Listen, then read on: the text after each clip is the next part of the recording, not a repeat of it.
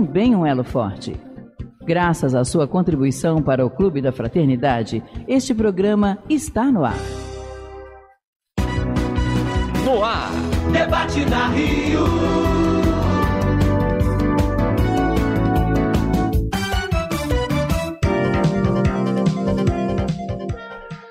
Olá, meu querido da Rádio Rio de Janeiro, sintonizados agora no programa Debate na Rio. Sejam todos muito bem-vindos. O Debate na Rio é jornalismo espírita interativo no ar. Hoje vocês estão aqui excepcionalmente comigo, Nelson Tavares, o dono da cadeira, nosso amigo Eduardo Araújo. Por motivos profissionais, excepcionalmente hoje não vai poder estar aqui conosco. Então a gente tem a árdua tarefa de tentar substituí-lo mas com a ajuda aqui dos amigos presentes, dos nossos debatedores, vai ser fácil porque a gente está entre amigos. Aqui à minha direita, na extrema esquerda do vídeo de vocês, a gente vai ter hoje Maria de Fátima Miranda. Boa tarde, muita paz. E à minha esquerda, à direita de vocês, a gente está hoje com o João Nogueira. Boa tarde, muita paz. E o nosso amigo Carlos Alberto Ferreira. Muita paz a todos. É isso. Sejam todos mais uma vez bem-vindos ao programa Debate na Rio. A Rádio Rio de Janeiro hoje está como proposta de tema discutir a felicidade não é deste mundo. É um texto do Evangelho e a gente pede que vocês participem com a gente. Não deixem de comentar pelo nosso Facebook, o Facebook da Rádio Rio de Janeiro.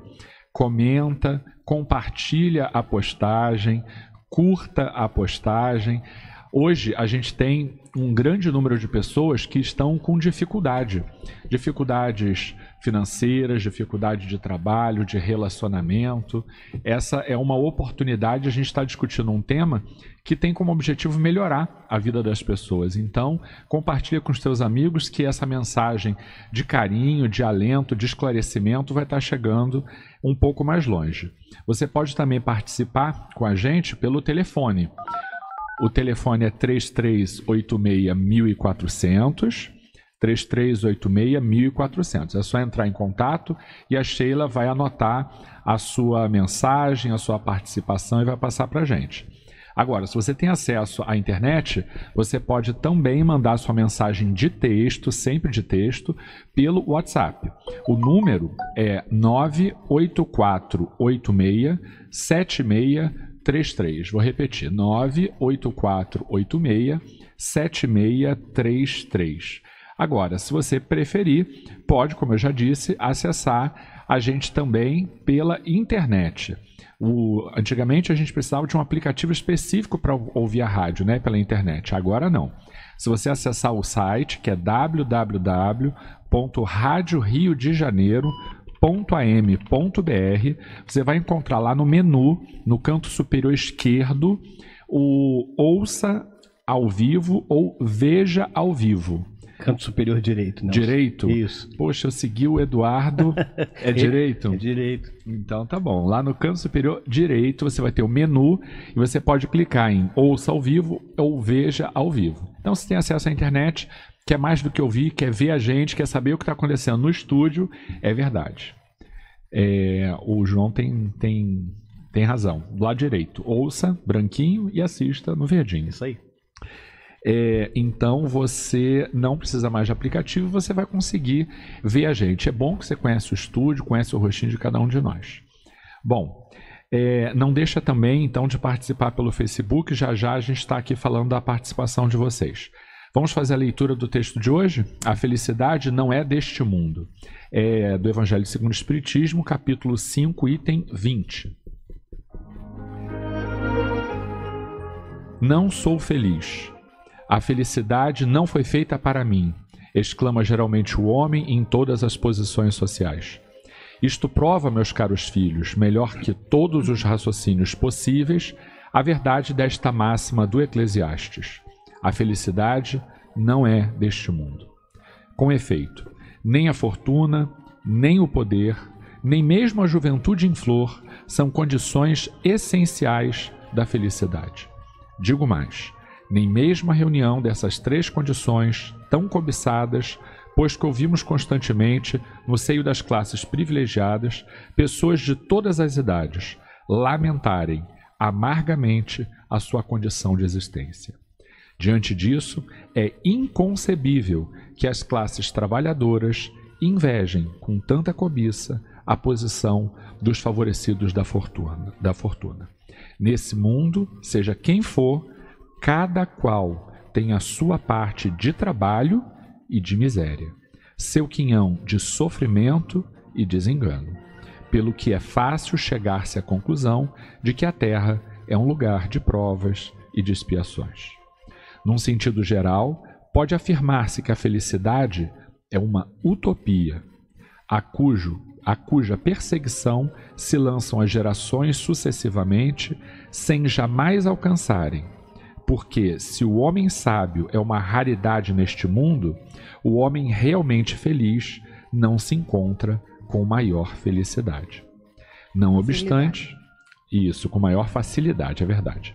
Não obstante, não se deduza das minhas palavras que a terra esteja sempre destinada a servir de penitenciária.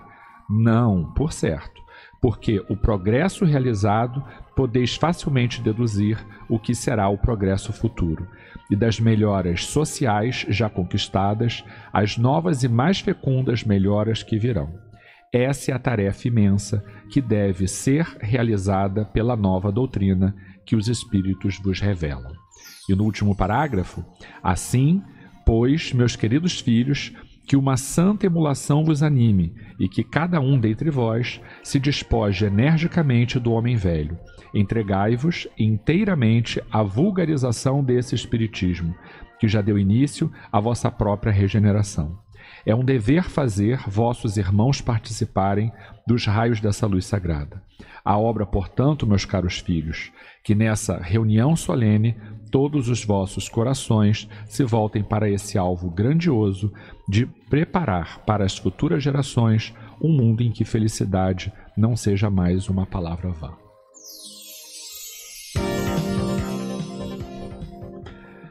Bom, esse é um texto, eu diria, muito atual, porque é, além de ser um texto do Evangelho, né, que é todo ele voltado para todas as épocas da humanidade, a gente tem uma questão que é objeto de reflexão cotidiana. Né? As pessoas buscam a felicidade o tempo inteiro.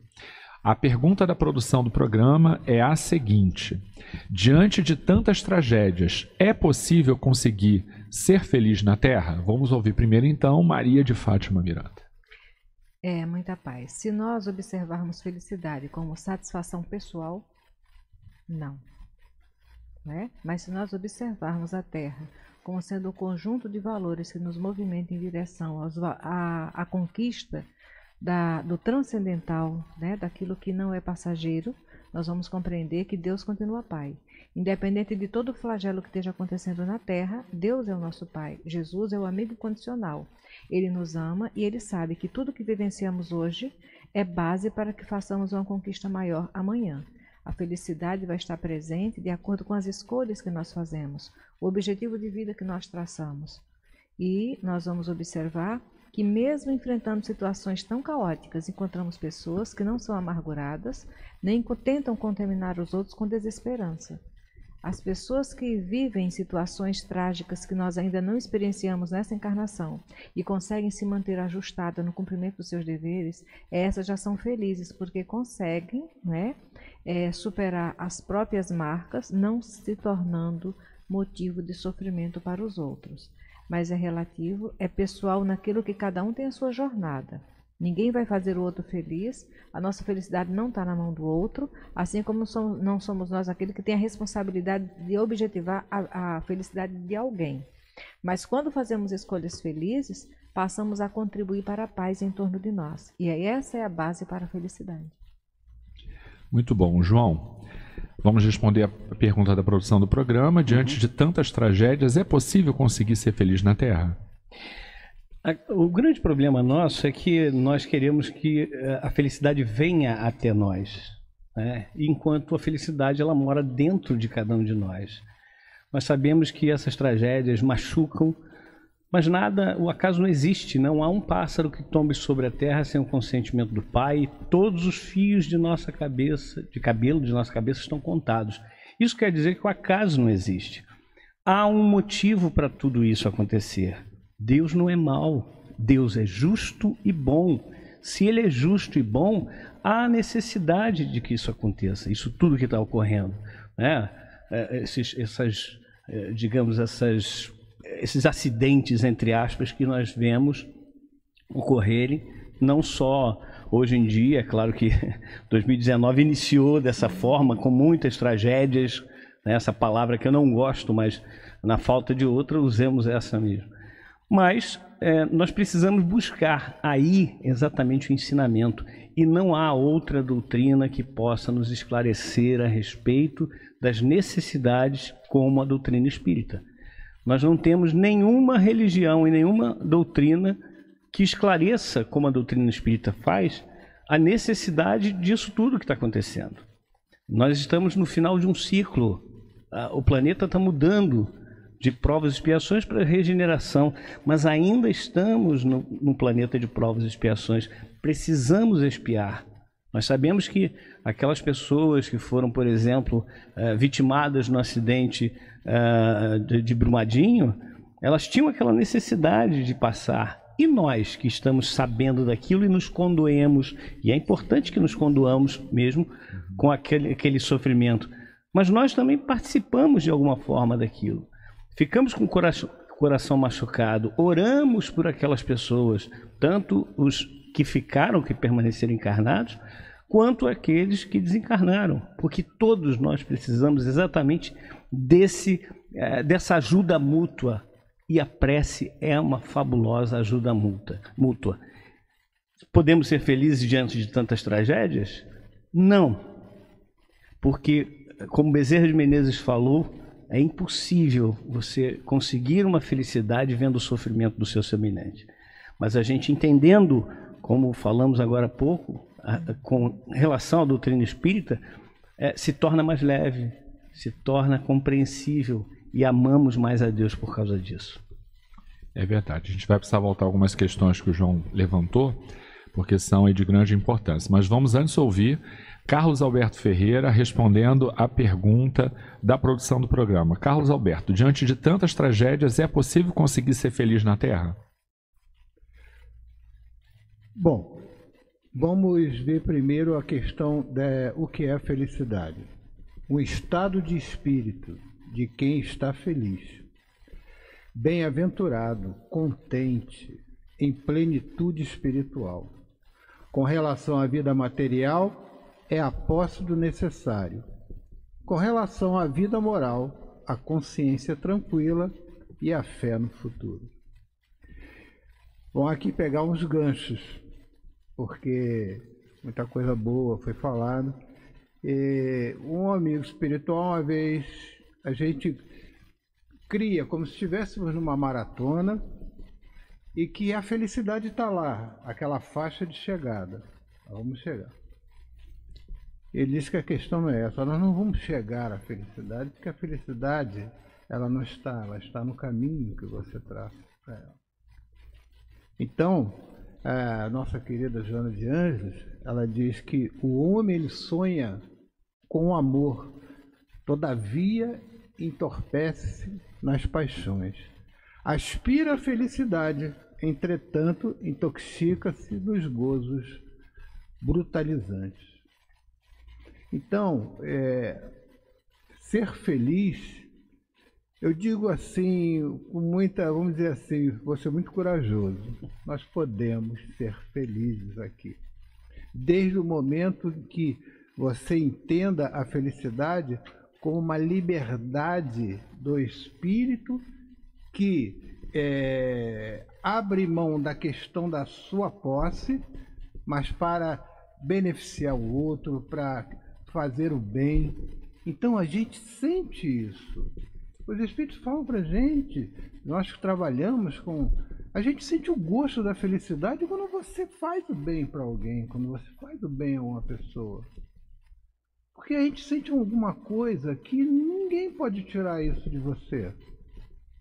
porque isso é do seu espírito. O seu espírito ele se sente eh, com essa liberdade de, de sentir o que é ser feliz. Agora, Jesus falou da felicidade plena, né? Daqui um dia todos nós seremos felizes plenamente. Ela não é, vamos dizer assim, imediata, mas ela vai sendo trabalhada através do tempo. E nós vamos chegar a essa felicidade plena. Mas ser feliz relativamente à minha condição espiritual, eu posso ser a partir do momento que eu compreenda como eu posso ser feliz. Isso aí, a gente já tem aqui bastante participação pelo Facebook. A gente está com a Alba Valéria, Rose Gouveia, Heloísa, Helena, Moisés Santos, Jusceia Santiago, a mãe do nosso querido Eduardo, está aqui participando e representando a família. Jorge Luiz do Carmo, Beto Orlando, Adriana é, Angel, eu acho, Adriana Ângelos também, Beto Orlando, Shirley Santos, Sandra Lima. Bom, não deixa de mandar então a sua mensagem, não deixa de fazer a sua participação. Ou mandar também a sua mensagem pelo WhatsApp. Maria de Fátima, a gente tem é, uma fala do, do Carlos Alberto no sentido de o que é a felicidade. Existe mais de um tipo de felicidade? A gente pode buscar ou encontrar felicidade em diversos lugares de formas diferentes ou a felicidade é uma coisa só? Olha, é a felicidade. Um filósofo lá na Grécia Antiga ele dizia que a sabedoria é a chave da felicidade. Então, não adianta nós buscarmos essa realização íntima nas coisas de fora, porque é transitório, não é? A felicidade em si ela vai estar sublimada em nós com a consciência tranquila do dever cumprido. Diante do sofrimento dos nossos irmãos, nós aprendemos a desenvolver a solidariedade, que é a base para a fraternidade. Então, vendo tanta angústia, tanta, tanta dor, nós comungamos da dor do companheiro. Mas no íntimo, nós temos certeza da, dessa realidade de um Deus bom, misericordioso e justo. Por isso que na mensagem, o Espírito, é, o François, ele diz é, deveis todos consagrar-vos à propagação desse Espiritismo que já deu começo à vossa própria regeneração. Por quê? Porque vem nos esclarecer a respeito da, dos valores básicos para o espírito, não é? Não adianta querer procurar a felicidade nos prazeres fugidios, porque a saciedade vai nos frustrar. Nós colocamos a felicidade no carro novo, aí trabalha tudo, se endivida, conquista o carro novo. Daqui a pouco aquilo já perdeu foco para nós. Então nós vamos transferindo para os valores de fora e será insaciável. Quando nós buscamos desenvolver a compreensão do nosso objetivo na Terra, né? o, que, o que viemos fazer aqui? O Evangelho nos fala da vida futura, do ponto de vista. Faz diferença, sim. Jesus ele não veio aqui só para ficar grafando a história antes dele e após ele. Jesus veio para ser diretriz, é um paradigma, não é? É referência para nós. Então, tudo que ele nos fala, ele fala de realidade. Jesus ele jamais nos prometeu algo que fosse falso, que fosse mentiroso, porque ele é o nosso guia e modelo. Então, nós vamos observar que não adianta ficar procurando a felicidade por fora, ou delegando ela à responsabilidade de outros. A felicidade começa com o autoconhecimento se percebendo, se identificando, compreendendo suas limitações e procurando vencê-las. Por isso que o Evangelho de Jesus é uma bússola. Se o homem velho for buscar se conhecer fora do Evangelho, ele enlouquece e espalha muita dor, porque ele vai ficar frustrado, escandalizado consigo mesmo. Mas com o Evangelho, ele começa a perceber que tem uma proposta de renovação. Quando Jesus vem e acolhe os excluídos da sua época, ele já mostra que todas as conquistas que o Espírito pode fazer independem das condições de fora. Então, aquela criatura que, olha, tem uma pessoa que nós não podemos esquecer dela quando se trata de felicidade. No Hospital de Curupaiti, tivemos a oportunidade de conhecer vários exemplos de dignidade humana, apesar das limitações materiais e sociais que viviam. Todo, muitos conheceram Amazonas Hércules, não é? Mas ali dentro do Hospital de Curupaiti, Amazonas ele era uma referência de sobriedade, enfrentava lutas, se identificava com as próprias limitações, não se colocava a auréola de, santo, né? alertava que ele trazia dentro de si uma fera que rugia e ele precisava conter, mas também tem outras criaturas que nós conhecemos ali, como Valentina. Valentina ficava justamente no pavilhão da psiquiatria. Ela respirava felicidade. toda quebradinha com osteoporose, mas quem se aproximasse do leito da Valentina encontrava um pouco de paz e ficava envergonhado de sair dali reclamando de coisas tão pequenininhas do nosso dia a dia. João, você falou que não gosta da palavra tragédia, eu também não gosto. É. Que está vulgarizada agora, né? Os meios de comunicação usam essa palavra o tempo inteiro. Direito, é. É, o que mais me incomoda é o fato de a, a palavra tragédia remeter para uma percepção meramente material. A gente não consegue ver o que há de benefício espiritual por trás das dificuldades que se vive, né? Uhum. Como é que você vê essa questão da, da tragédia? O que que, por que, que ela está tão vulgarizada? Por que, que ela sensibiliza tanto as pessoas? Na verdade, nós ainda não aprendemos a viver como espíritos, que somos, né? O dia que a gente entender definitivamente que somos espíritos, no dizer de Brian Weiss, grande psicólogo norte-americano, ele diz o seguinte: nós não somos corpos materiais tendo experiências espirituais, nós somos espíritos tendo experiências corporais. Né? Então, nós ainda temos essa dificuldade. Quando desencarna alguém, a gente, meu Deus, sofre, perdi Fulano, perdi Beltrano. É triste, é. A gente tem uma, uma necessidade de tocar, a gente tem uma necessidade de sentir a presença física da pessoa, mas exatamente por conta dessa não vivência é, de, da realidade que nós somos, que somos espíritos. Né? É, Jesus fala, por exemplo, no Sermão do Monte, capítulo 6 de, do Evangelho segundo Mateus, que onde estiver o teu tesouro, aí estará o teu coração. Isso quer dizer que nós nos apegamos a tudo aquilo que para nós tem muita importância. É? Quando Jesus fala que não, não devemos dar pérolas aos porcos, é exatamente no sentido de que para o porco a pérola não tem valor nenhum. Ele quer comida, ele quer alimentar-se, aquilo é que é importante para ele. Então nossos valores estão muito deturpados. Enquanto nós estivermos com esses valores deturpados, nós não vamos perceber essas vantagens que você citou, Nelson, de termos é, é, essas tragédias, entre aspas, acontecendo. Então nós vamos nos apegar às coisas materiais, sejam as posses ou os corpos mesmo, e vamos continuar sofrendo.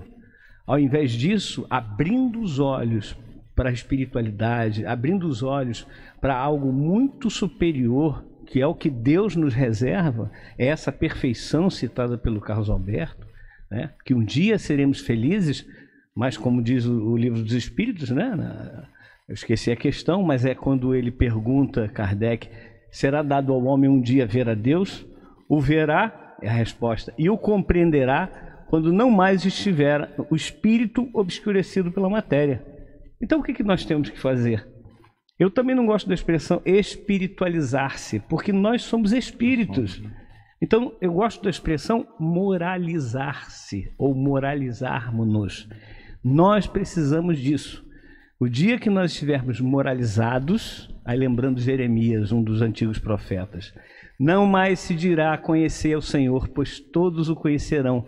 E aí seremos felizes, porque a verdade liberta a doutrina é consoladora exatamente por isso, porque nos mostra uma realidade de felicidade muito além daquela que nós aprendemos a viver, a, a ansiar, que é a felicidade real. Bom, para mim, felicidade é o Eduardo semana que vem estar tá aqui, para eu não precisar. Eita, nervoso fazer isso, né? Meu Deus do céu. Eu prefiro estar aí do lado, não sabia que era tão diferente. É, a gente vai então para o intervalo rapidinho. A gente queria só lembrar aqui Solange Pessoa, dizendo: é, meu amigo, é muito gostoso quando temos a oportunidade de ajudar alguém, dá uma satisfação interior muito grande.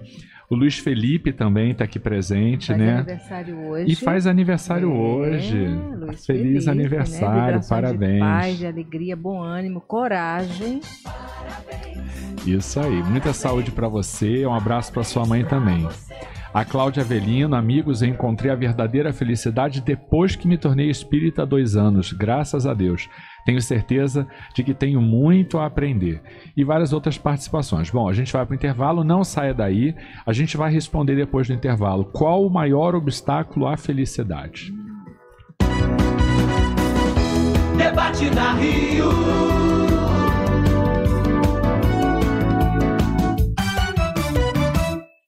Graças a você, como membro do Clube da Fraternidade, sendo este elo forte, este programa está sendo transmitido pelas ondas amigas da sua Rádio Rio de Janeiro.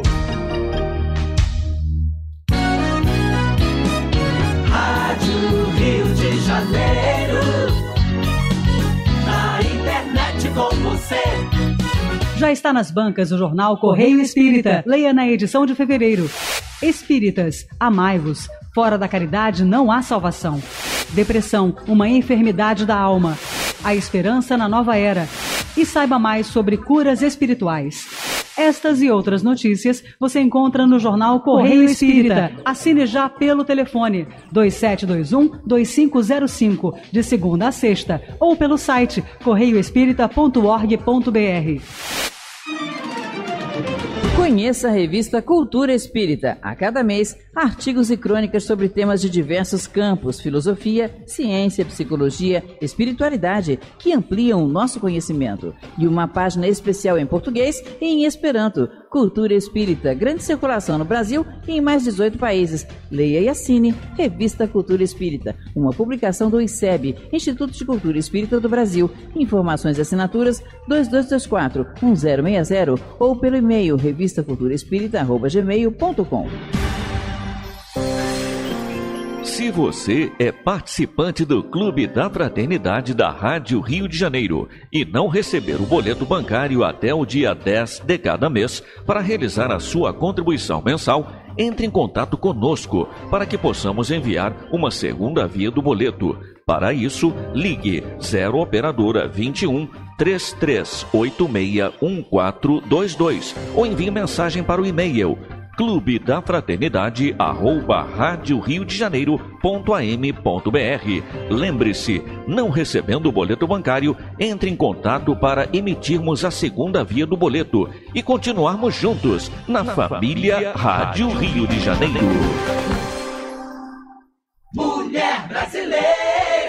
Oi, gente, aqui é a Adriana Souza, a apresentadora do Mulher Brasileira. Eu quero contar uma novidade para vocês, hein? Mulher Brasileira ganhou um novo horário. Continuamos juntos de segunda a sexta, mas agora de 8 às 9 da manhã. Mulher Brasileira. É, eu espero você em 1400 AM, no nosso site e no Facebook da nossa Rádio Rio de Janeiro, a emissora da Fraternidade. Mulher Brasileira.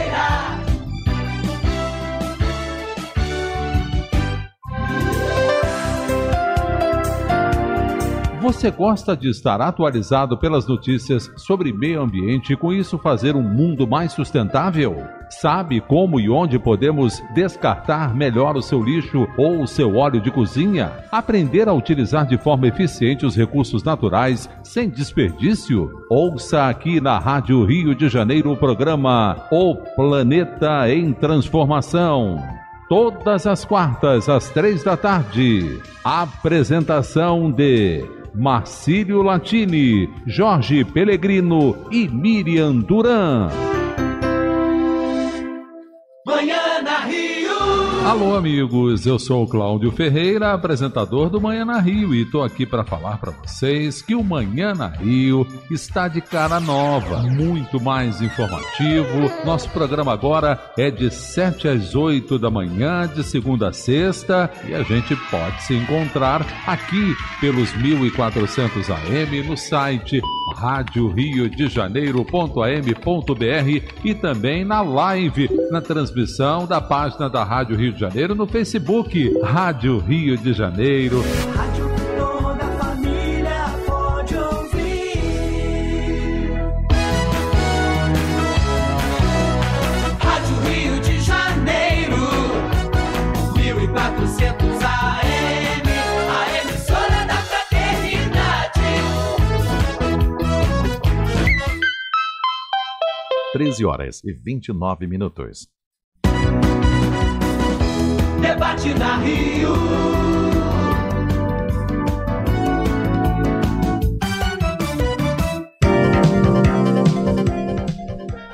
Estamos de volta depois do intervalo na difícil tarefa de substituir o amigo Eduardo Araújo, que está por motivos profissionais hoje um pouquinho afastado, mas semana que vem ele está de volta. Há pessoas aqui já perguntando e tal, como é que tá Eduardo? Tá tudo bem, tudo ótimo. Ele mandou um abraço para todo mundo. E o melhor de tudo é que eu já tive a chancela da dona Jusceia, que disse aqui que eu tô indo bem. Então, se a mãe do Eduardo disse, tá tudo ótimo. Já tô até mais feliz. Obrigado pelo teu carinho, tá? Carlos Alberto, a gente tem aqui pelo WhatsApp a participação da Vilma de Niterói que diz assim: Vocês não acham que a felicidade consiste, em primeiro lugar, em vencermos problemas que há dentro de nós mesmos e assim poderá começar desde esse mundo? É verdade, superar as próprias dificuldades é motivo de felicidade, né? Conseguir fazer isso traz um pouquinho de plenitude para gente, não é não, Carlos? É verdade. Aliás, nós estamos aqui para isso, para vencer as nossas próprias dificuldades. Esse é o nosso trabalho, o trabalho da, reencarnação. Então, vamos vencendo. E uma das, das formas de, de vencermos essas nossas dificuldades é justamente é, trabalhando é, no bem, trabalhando em benefício do outro. Isso aí, porque vamos lembrar aqui do nosso querido Jesus, como é que ele situa a felicidade, então ele situa no amar ao próximo como a si mesmo. Uhum. Jesus situa a felicidade. Então, mesmo que, que, eu, que eu, eu, como eu vou ser feliz? Como, amando o outro. E para mim amar o outro, eu tenho que vencer a mim mesmo. Eu tenho que vencer as minhas dificuldades, a, a, as deficiências que eu trago como espírito, e aí eu vou trabalhando isso e vou aprendendo a amar. Nós temos que criar essa capacidade de amar. Estamos aqui com esse objetivo.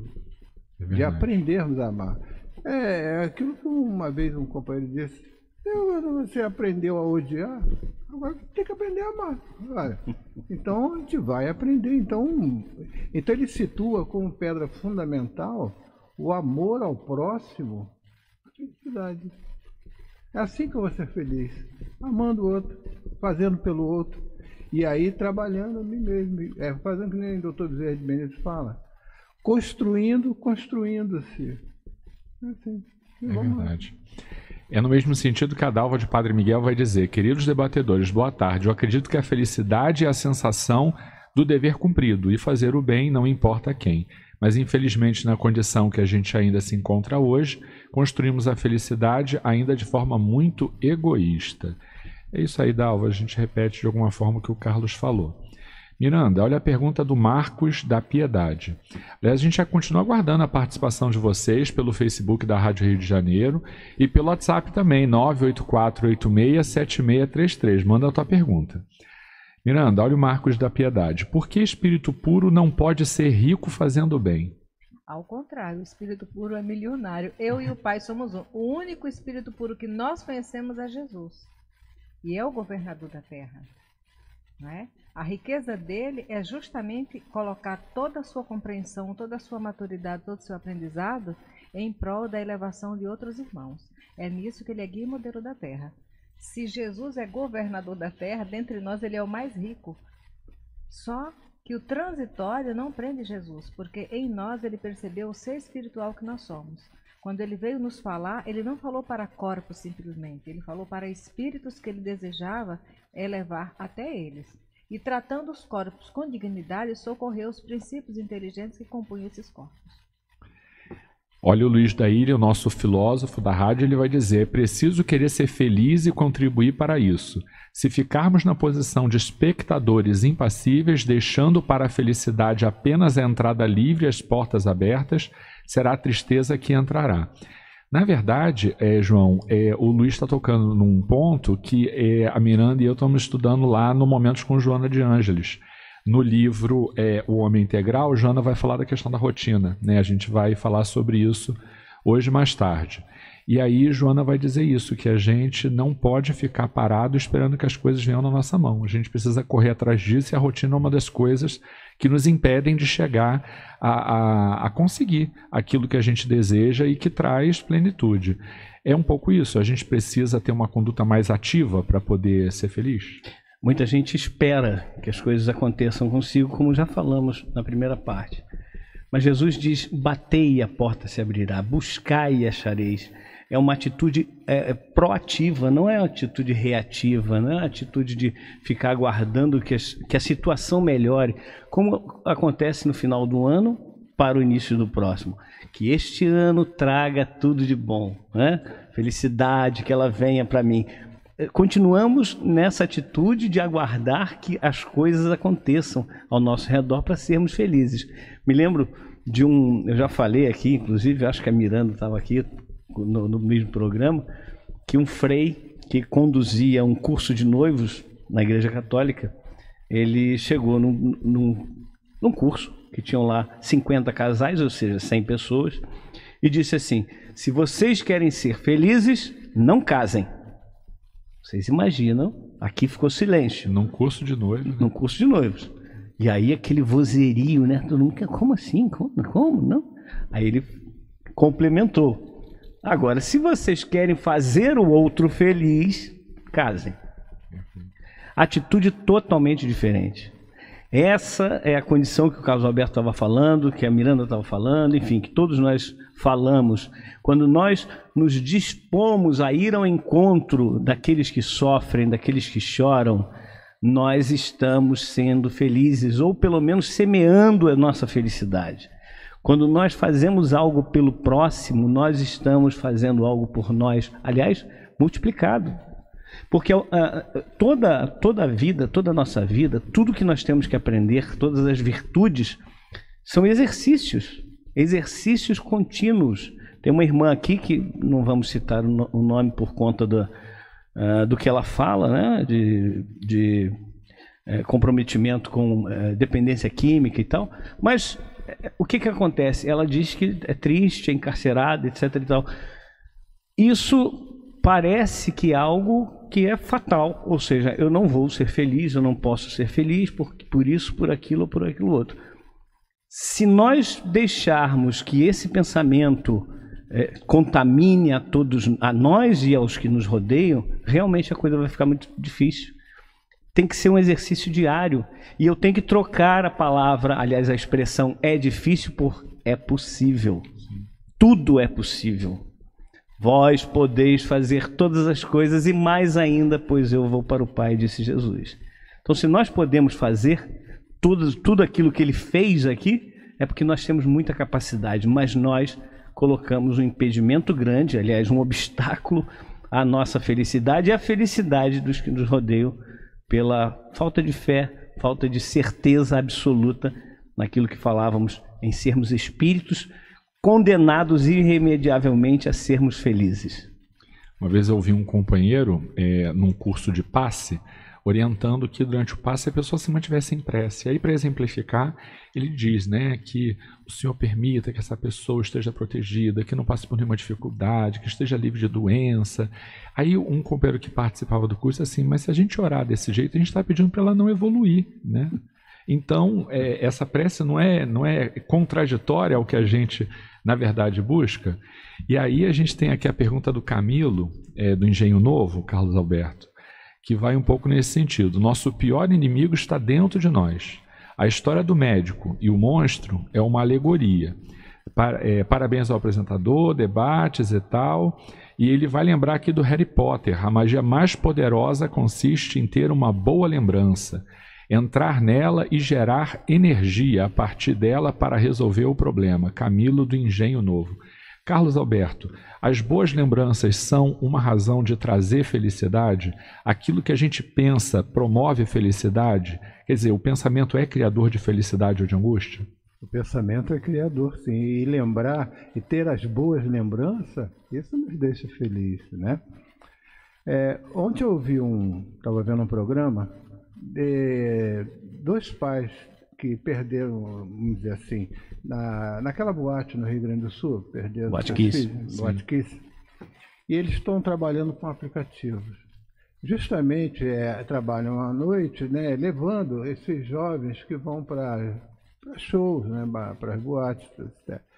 E eles vão ali é, ajudando, conversando com aqueles jovens, tentando dar uma proteção, uma ajuda. Então um falou assim, é, quando eu estou fazendo esse trabalho, é como eu sinto a aproximação do meu filho.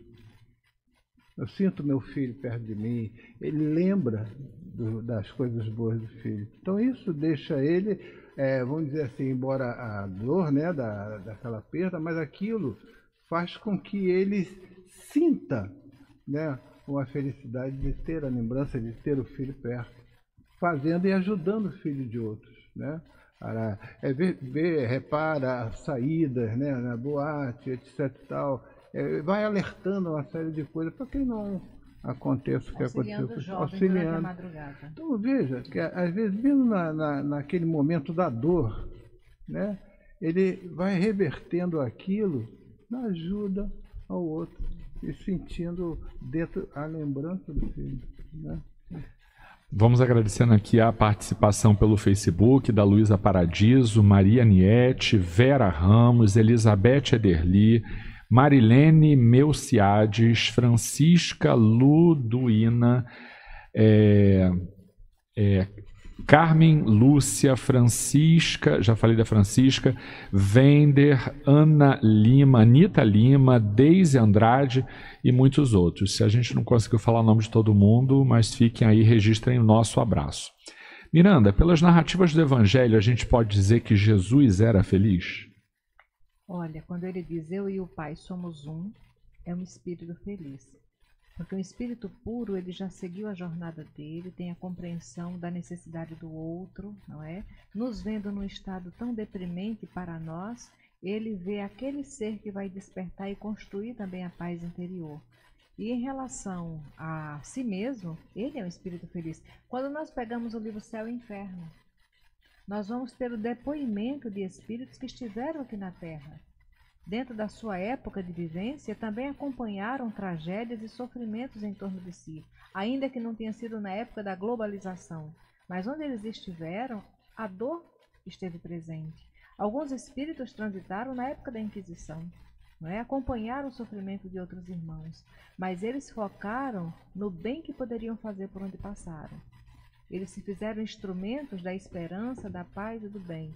Nós sempre lembramos, dos espíritos felizes que dão os depoimentos deles no livro Céu e Inferno. Joana de Andes, ela nos diz no livro Estudos Espíritas que a alegria de fazer feliz é a felicidade em forma de alegria. Dr. Bezerra de Menezes nos convida, junto com André Luiz, desenvolver o nosso trabalho com alegria, para que a nossa alegria seja o trabalho. Isso é construção de felicidade. Então, Jesus era um espírito feliz. Ele não passou mensagem de desesperança, de frustração, de acomodação, de inquietude para ninguém. Justamente porque ele trazia consigo a paz interior. E quem está em paz é feliz. João, o espírito superior é alegre, né? Quando a gente observa uhum. as narrativas, a gente observa o congraçamento entre eles, o quanto é, o encontro é festivo. Eles não são sisudos porque mais evoluídos, né? É, e nós queremos mostrar uma evolução que não temos através da nossa é, rigidez, muitas vezes, aquela carranca. carranca. Eu me lembro de uma passagem do Evangelho que Jesus fala a respeito de, de um encontro entre um publicano que era considerado como um ladrão, né? um marginal naquela época, que era o cobrador de, de impostos, e um fariseu, que era daquela casta mais, eh, digamos, dominante, né? Os, né? a elite daquele, daquele público, daquele povo. Né? E aí Jesus fala que uh, o publicano estava contrito, ajoelhado, cabeça baixa, dizendo: Perdoe, Deus, meu Deus, me, me ajude, me perdoe perdoa os meus pecados. E o fariseu de pé, aí ele colocava cinza, né, que era comum isso, cinza no rosto para parecer que na, naquele dia ele estava fazendo jejum para parecer sofrido. E ele dizia assim, batia no peito e dizia: Senhor, eu faço, é, dou o dízimo do, do cominho, parará, parará, parará, eu sou, faço isso, dou oferta, não sou como este publicano, tal, tal, tal. E aí Jesus diz: qual dos dois, para os discípulos, né? Qual dos dois é, saiu de lá justificado? E os discípulos entenderam e disseram: o publicano. Ou seja, não adianta nós acharmos que vamos enganar a Deus é, só por causa da nossa expressão.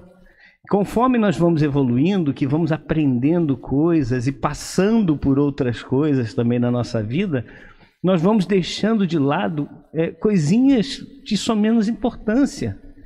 Espíritos inferiores como nós, e graças a Deus nós já pelo menos temos a doutrina espírita, já buscamos a vivência na doutrina espírita, isso faz com que a gente mude muitos conceitos e passe a ter mais momentos alegres. Imagina um espírito puro que já passou por toda a fase evolutiva, já chegou à perfeição e pronto. Ele é feliz, plenamente feliz. O pastorino traduz vida eterna por vida imanente, que é aquela vida em que você olha para um, um copo d'água e enxerga o exterior e o interior. Ele é tanto do lado de fora quanto do lado de dentro exatamente o mesmo, porque ele não tem o que esconder. Ele não tem personas, né, máscaras. Ele simplesmente é.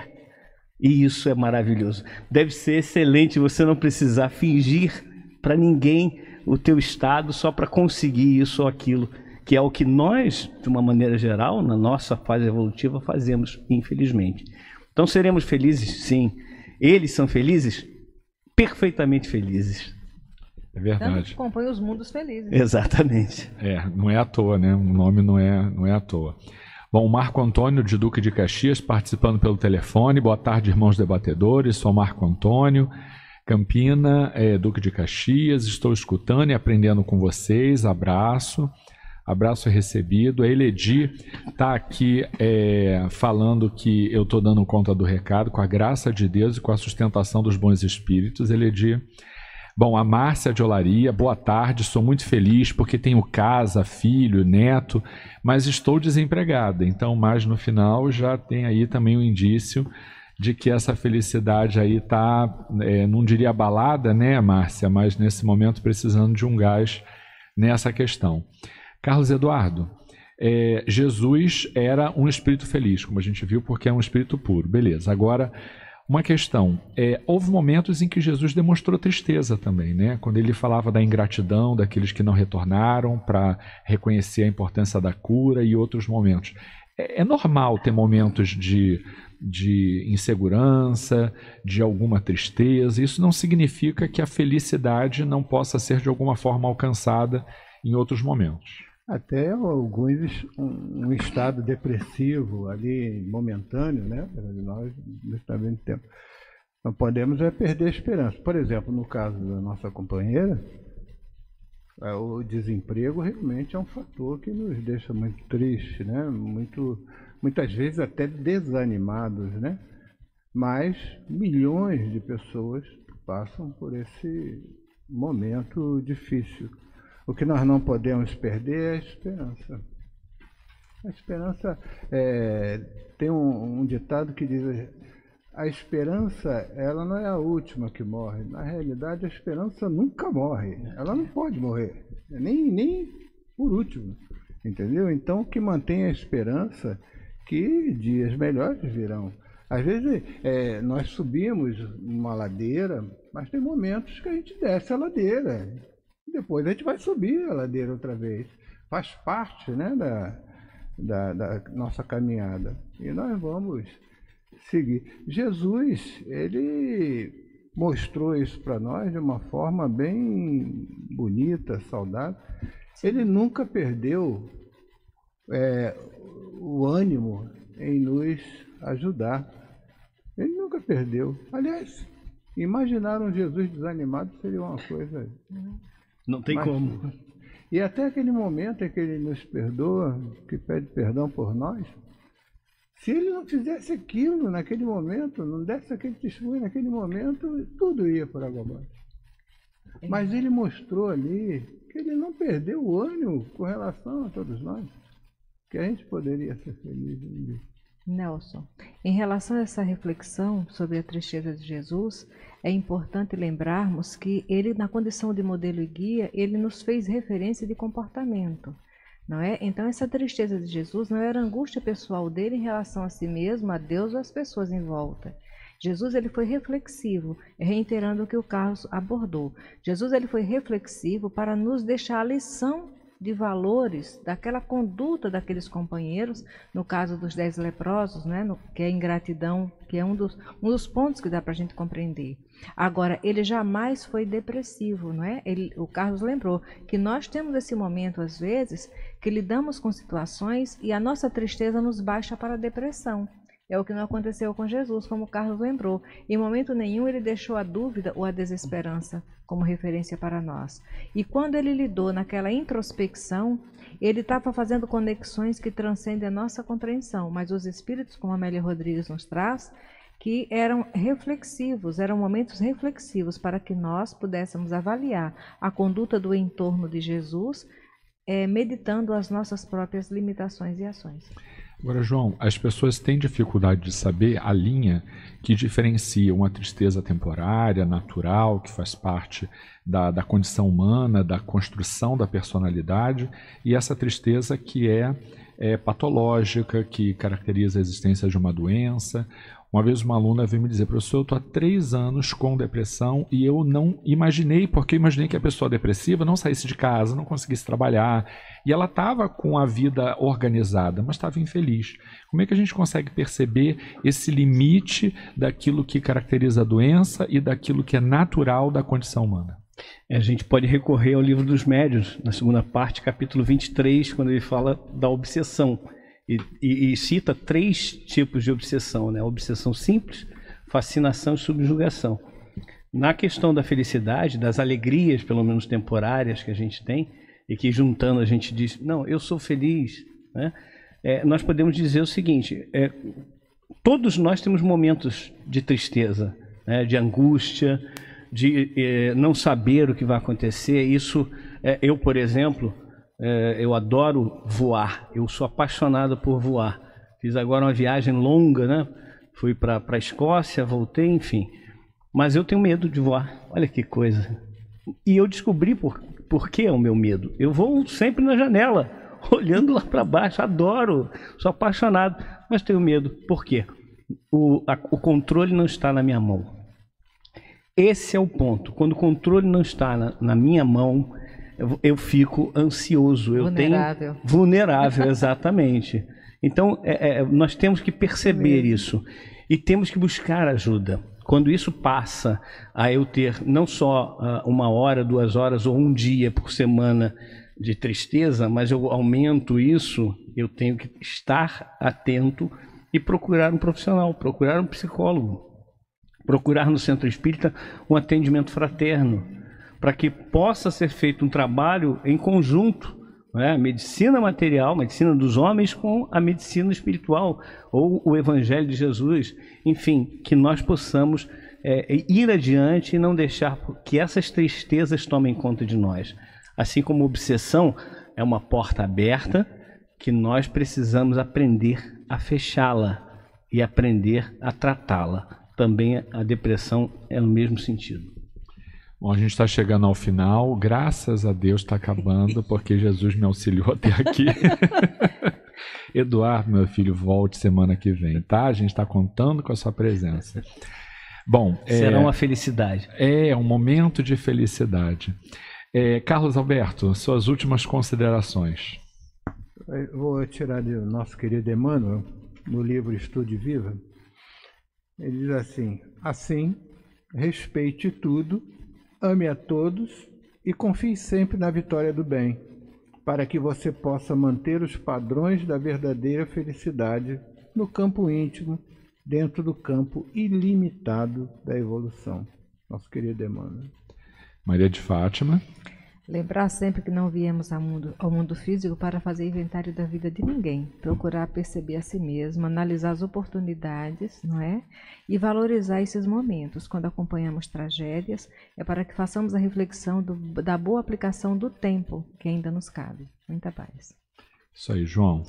É, lembrando que, que, tudo que foi falado aqui com relação a ir ao encontro das, das pessoas, eu queria terminar com Vilma Vasconcelos dizendo João do Caminho do Senhor, um beijo e um grande abraço a todos do caminho. Um dia poderei dar o meu depoimento de como Gastão e o Acácio puderam me salvar de um eminente suicídio através do programa.